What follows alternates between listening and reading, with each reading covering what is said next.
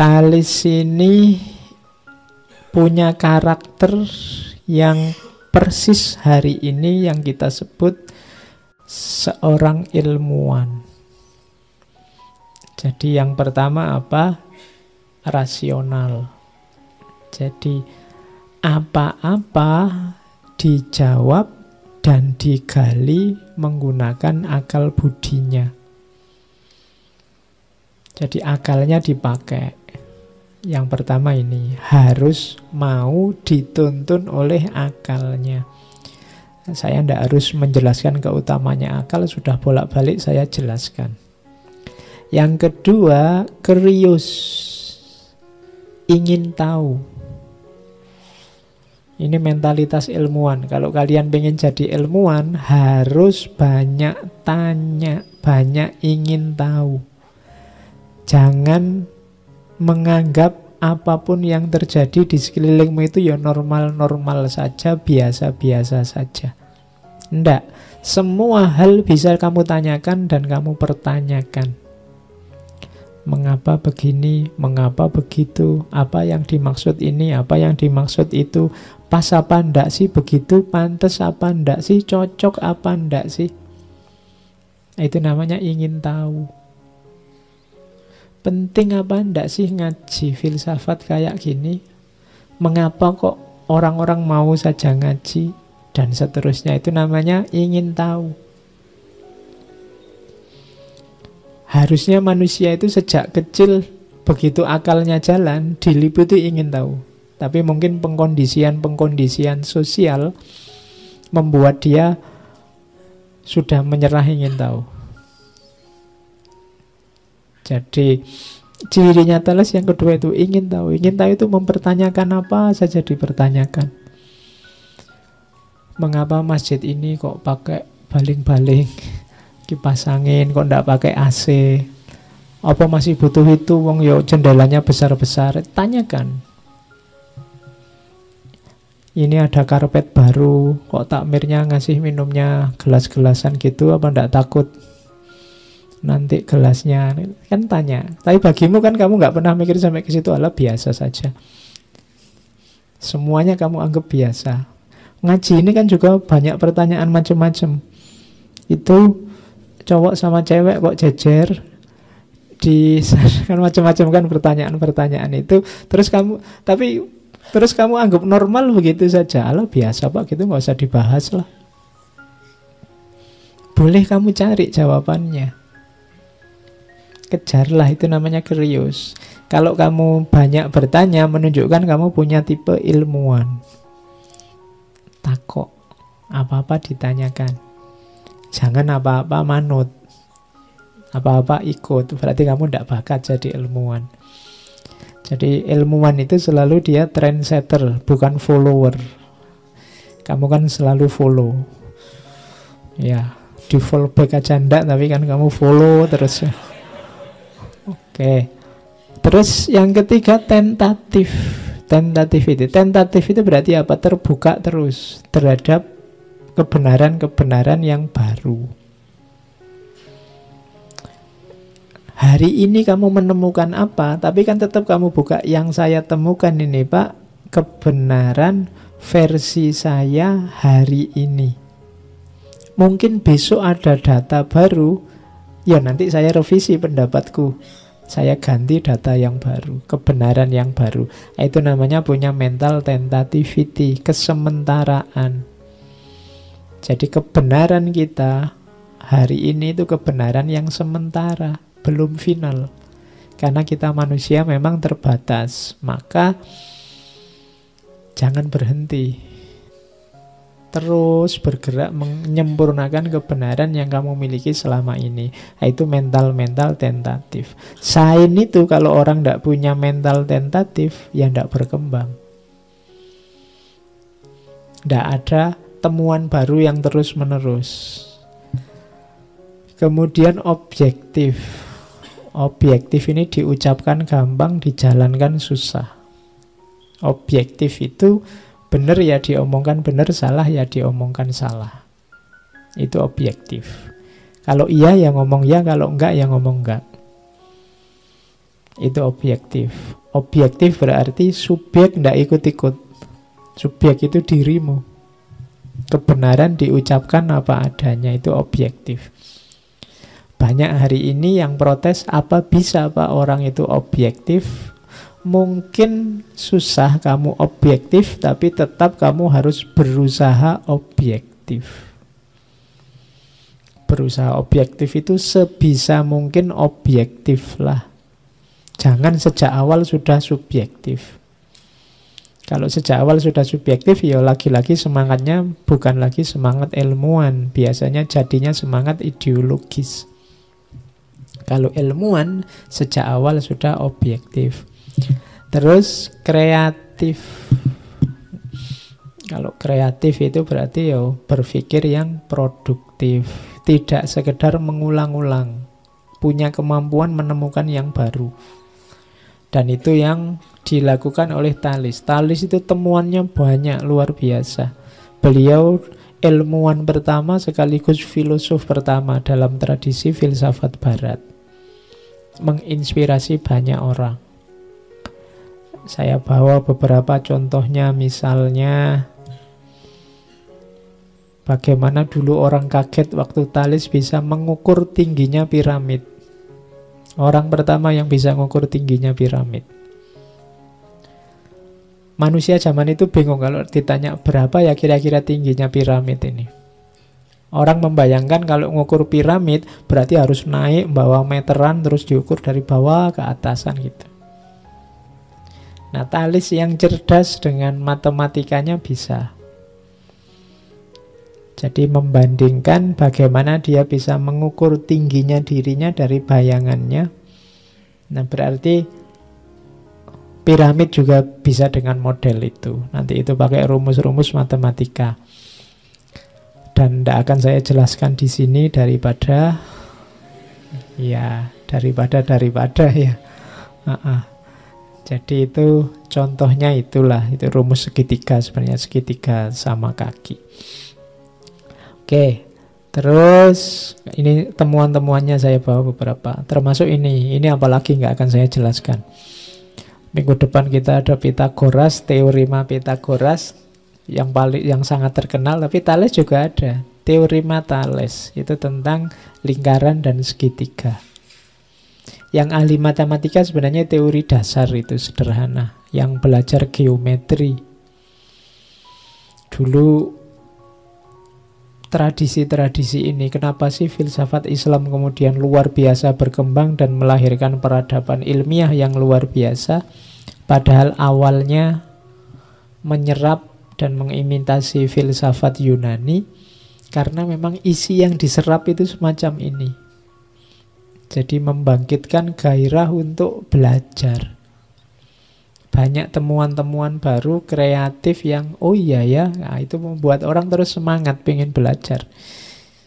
Maka dunia Islam zaman itu ketika melanjutkan tradisi filosofis barat juga ikut maju Cuma hari ini kan kita yang agak kurang semangat untuk membangkitkan lagi dunia keilmuan.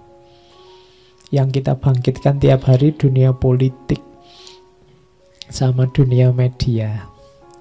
Padahal mungkin dua hal itu bisa jadi alat kita untuk membangkitkan dunia ilmiah kembali karena kuncinya peradaban itu kalau kalian belajar sejarah itu sebenarnya banyak terdapat pada kejayaan ilmiah dibandingkan kejayaan politik. Dulu Yunani maju ya karena sainnya. Barat yang renaisan juga kan sainnya sampai hari ini dia jadi kiblat ilmu pengetahuan. Islam dulu jadi kiblat juga karena sainnya kan tidak hanya karena Abbasiyah Umayyahnya. Maka ayo lebih fokus ke dunia ilmunya. Ya seperti janjinya Allah tadi, kalau dunia ilmu kamu serius ya Allah ngangkat derajatmu. Oke, kita lanjutkan. Termasuk juga menemukan elektrik sama magnet, meskipun teorinya belum sempurna. Jadi Thales bisa merumuskan adanya daya dari daya listrik dan daya magnet. Di zaman itu ada satu wilayah yang punya daya magnet yang kuat.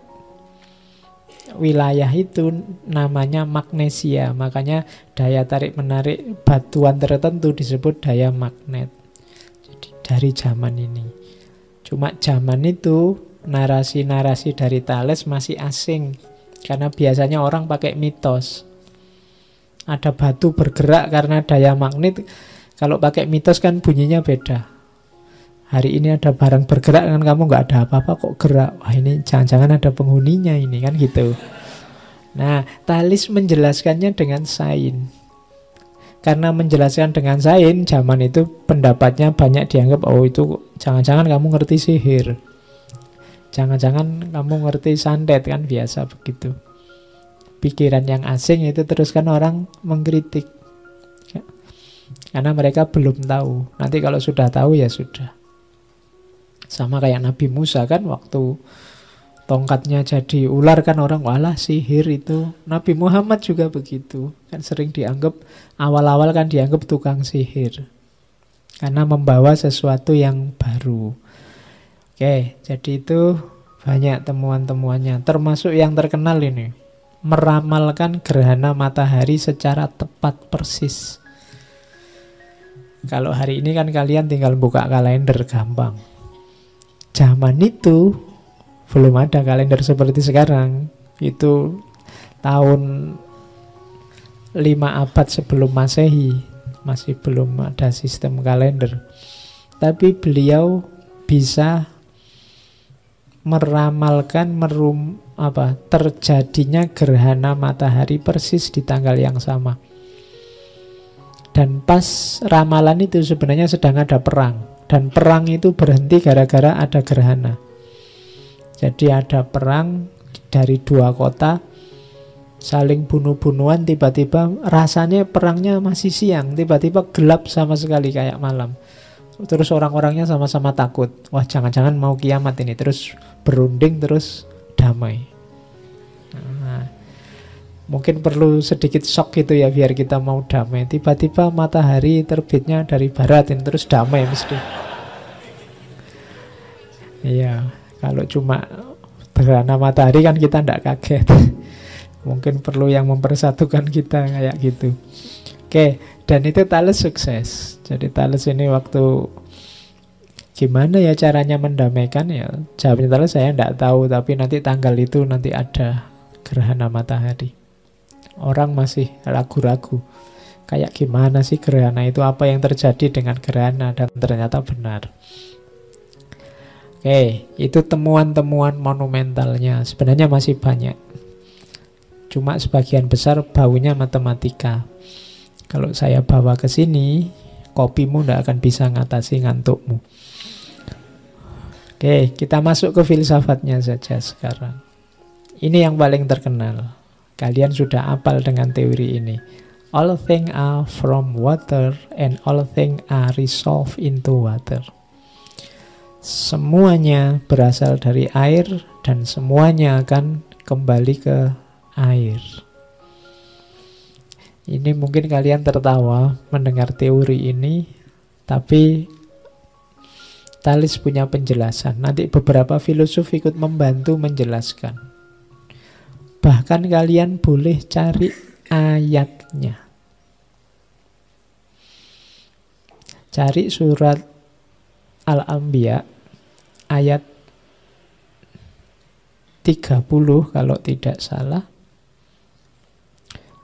waja'alna minal ma'i kalau tidak salah kulla syai'in hayyin jadi dan kita jadikan segala sesuatu yang hidup itu dari air ada ayatnya. Kalau ada ayatnya kamu tidak berani bantah mesti. Tadi kamu sudah mau bantah apa iya dari air. Tidak. Ternyata ada ayat yang konotasinya bisa ditafsir ke sana. Jadi air jadi sumbernya segala sesuatu dan segala sesuatu akan resolve into water, akan kembali ke air. Kalian dulu tercipta awalnya kan bentuknya cair. Nanti waktu meninggal bubar hancur ya terakhir jadi air lagi. Dari air ke air. Itulah cirinya makhluk, makhluk apa pun kalau versinya Talis. Penjelasannya panjang, macam-macam, tapi saya ingin pinjam penjelasan dari Francis Bacon yang juga belajar tentang Talis. Francis Bacon menjelaskan gagasannya Thales. Yang pertama, menurut Thales, segala sesuatu itu bergantung pada kelembapannya. Atau kalau pakai bahasa lebih pas, kadar airnya. Benda apa pun, barang apa pun, makhluk apa pun, keberadaannya tergantung kadar airnya atau kelembapannya. Batu, kayu, metal, mineral apa pun itu kan dia ada apalagi yang makhluk hidup, tanaman, tumbuhan, manusia itu kan tergantung kadar airnya. Bahkan makhluk hidup kayak manusia itu 70 persennya kan air. Teori ini menarik kalau disambungkan dengan minggu lalu kita ngomong Hasrat Inayat Khan bagaimana air itu bisa dipengaruhi oleh vibrasi-vibrasi sekelilingnya. Maka manusia yang 70% kandungan dirinya air itu berarti apa? Dia mudah terpengaruh oleh lingkungannya, oleh vibrasi-vibrasi sekelilingnya. Itu kemarin minggu lalu silahkan dicek lagi. Dan katanya Thales memang air. Dasarnya pasti air. Sesuatu kalau tidak ada airnya dia akan hancur. Dan itu dijelaskan oleh Francis Bacon. Maka air boleh disebut intinya segala sesuatu. Prinsip segala sesuatu. Binatang berkembang lewat air. Benih biji tanaman lewat air. Logam besi dan macam-macam meleleh juga jadi air. Bumi ini intinya juga air, atmosfer juga air. Bumi hidup hijau karena air. Lumpur itu ya sisa endapan air. Udara itu perluasan dari air yang mengurai. Juga tidak mungkin menyala kalau tidak ada kelembapan tertentu. Kalau tidak lembab sama sekali api malah mati. Nggak ada kandungan air sama sekali lewat udara api itu mati. Nah, itu penjelasannya Francis Bacon. Berarti memang tidak salah Thales kalau ngomong bahwa inti segala sesuatu itu air jadi dia tidak sedang ngarang atau berspekulasi pasti itu hasil pencermatan yang serius di mana dia mencermati dia ini hidupnya di daerah sungai, pesisir. Maka dia melihat manfaatnya air untuk kehidupan. Dia juga pelaut, pelayar ke mana-mana. Maka dia juga melihat bagaimana dahsyatnya laut. Dia bisa merusak tapi juga bisa menumbuhkan sesuatu. Jadi segala sesuatu air. Air adalah kalau bahasa Yunaninya archi jadi archi itu berarti intinya alam, sumbernya alam adalah air. Oke, jadi ini di buku-buku filsafat banyak dijelaskan gagasannya yang ini. Ada komentarnya Bertrand Russell tentang ini. Katanya Russell, filsafat Yunani yang diawali dari Thales tampaknya seolah-olah dimulai dari ide yang absurd dengan satu proposisi bahwa air adalah asal-usul dan sumber segala sesuatu. Haruskah kita anggap serius proses, proposisi tersebut katanya Russell ini serius tidak sih masa segala sesuatu dari air tapi jawabannya Russell ya, harus kita anggap serius. Paling tidak apa? Ada tiga alasannya. Pentingnya di mana gagasannya Thales tadi. Yang pertama apa? Karena proposisi tersebut mengajarkan kita bahwa ada asal usul dari segala sesuatu. Ini penting. Ternyata meskipun belum sampai air, kalau kamu tidak setuju airnya tidak apa-apalah. Tapi kan kamu setuju bahwa segala sesuatu ada asal usulnya. Ini luar biasa katanya Russell. Banyak orang yang tidak percaya sebab akibat segala sesuatu ada asal usulnya dianggapnya segala hal ini muncul iseng saja, otomatis saja, kebetulan saja.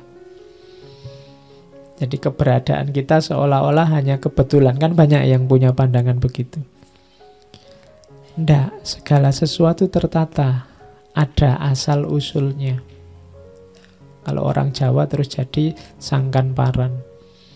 Dari mana dan mau ke mana. Kemudian yang kedua, proposisi tersebut menjadi bukti ketika orang serius ingin meninggalkan gagasan-gagasan mitos menuju logos. Manfaat kedua itu, meskipun mungkin tidak memadai masa hanya dari air, tapi setidaknya orang mau berpikir sendiri tidak hanya mengikuti mitos-mitos. Dan yang ketiga, ini nanti bisa masuk ke ranah mistik juga. Dari gagasan tentang segala sesuatu atau archi tadi berarti ada apa? Ada kesatuan segala hal. Ternyata makhluk ini hakikatnya satu. All things are one. Berarti ada intinya. Aku dan segala hal sekelilingku itu punya hakikat yang sama. Oh ini nanti pikiran ini luar biasa masuk. Apalagi kerana mistik. Jadi ternyata hanya dari segala sesuatu air implikasinya luas. Itulah pendapat utamanya Thales segala sesuatu dari air dan akan kembali ke air. Kalau di film-film itu kan kebalikannya kan segala dari tanah dan akan kembali ke tanah. Kalau ini dari air dan kembali ke air. Oke ya. Mantranya diganti. Oke, terus sekarang pandangannya tentang jiwa. Thales punya pandangan yang khas. Kalau hari ini mungkin disebut animisme. Kalau menurut Socrates disebut hilezoisme. Jadi Thales punya pandangan segala hal itu punya jiwa.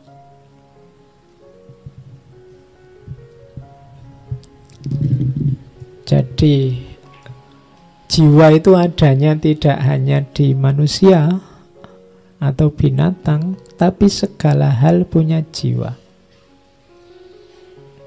Ini namanya animisme. Kalau dalam peradaban manusia kan sebelum animisme kan biasanya ada dinamisme. Kalau dinamisme dalam benda-benda, dalam segala hal ada daya.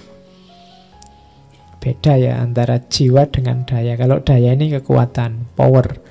Kalau animisme itu jiwa, anima itu kan jiwa. Kayak di Jawa misalnya ada danyang-danyang. Danyang ini kan jiwa, tidak sekedar daya.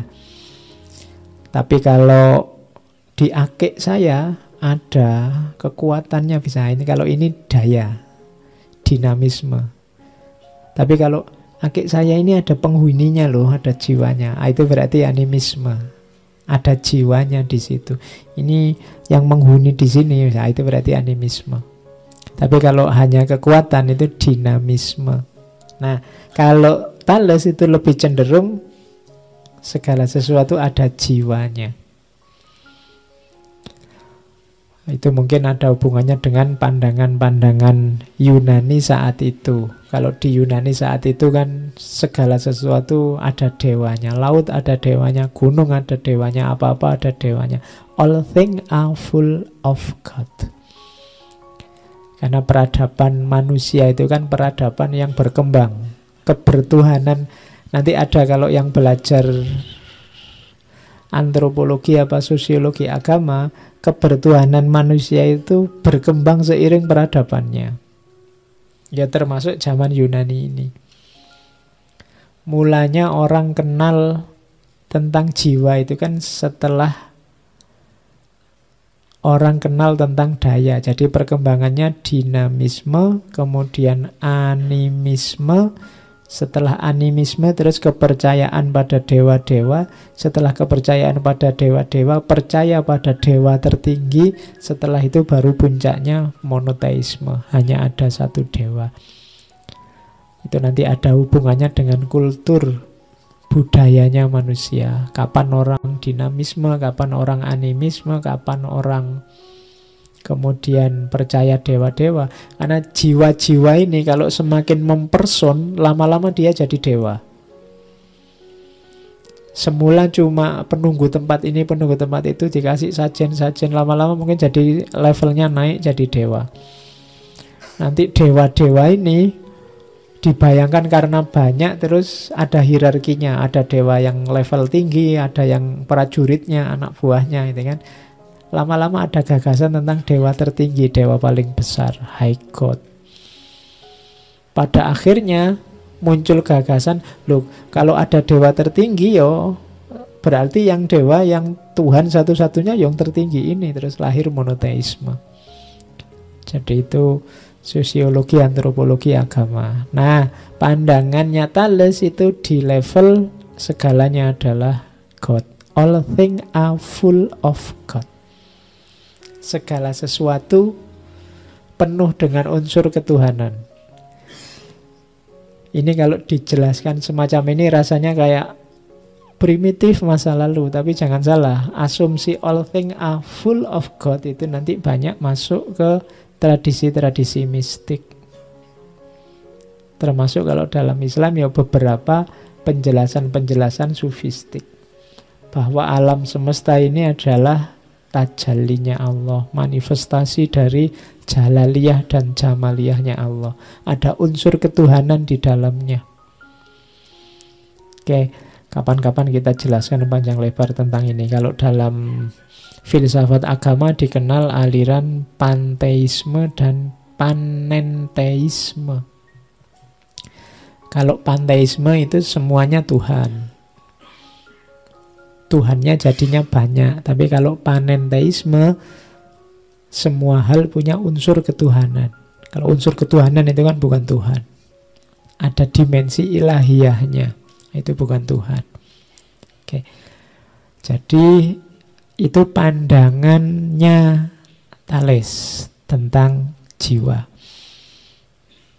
Agama oke okay, tapi jangan dogma. Katanya Talits, sultaisip atau dogma is precursor of ruin. Dogma-dogma itu adalah precursor. Precursor itu awal dari ruin, kehancuran. Jadi pertarungan antar dogma, lahirnya dogma-dogma itu biasanya jadi awal kehancuran. Manusia kalau ada di titik dogma biasanya terus yang main emosinya.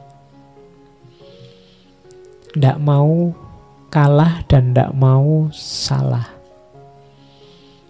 Akhirnya apa? Ketika semuanya begitu, yang terjadi terus konflik. Kalau sudah konflik ya pasti masuk ke ranah selanjutnya ruin. Ruin itu kehancuran. Jadi hati-hati dengan perilaku Tidak mau kalah, tidak mau salah Kalian sebagai manusia Yakinlah bahwa kadang-kadang yo kita ini salah Dan kalah juga tidak apa-apa Kenapa kok sepak bola ada tawurannya? Karena ndak mau kalah. Kenapa kok hari ini banyak konflik? Karena semuanya ndak mau salah, ndak mau kalah. Pinginnya menang kabeh.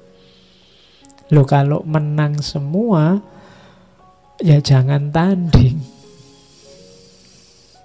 Kalau ada tanding itu ya pasti ada yang menang, ada yang kalah. Menang kalah itu biasa, salah juga biasa asal disadari dan mau memperbaiki. Oke, jangan masuk ke ranah ini surtaisip. Sebenarnya nggak nggak persis dogma, tapi dogma yang kaku yang dianggap paten, nggak boleh diubah-ubah. Itu katanya Thales precursor of ruin. Babak pertama awal dari kehancuran. Tidak mau kalah, tidak mau salah. Ya kalau sepak bola tidak mau salah, ya bolanya jangan satu. Beli bola aja sendiri-sendiri terus lebok-lebok ke dewe tuku gawang dewe wis rapopo menang kabeh kalau gitu. Oke. Jadi itu pendapatnya tentang agama dan jiwa.